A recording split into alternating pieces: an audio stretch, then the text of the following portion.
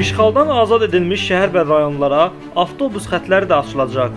Bunu Nəqliyyat və Rabitə və Yüksək Texnologiyalar Nazirliyi yanında Dövlət Avtomobil Nəqliyyat Xidmətinin İctimaiyyətlə Əlaqələr sektorunun müdiri Nuridə Allahyarova deyib.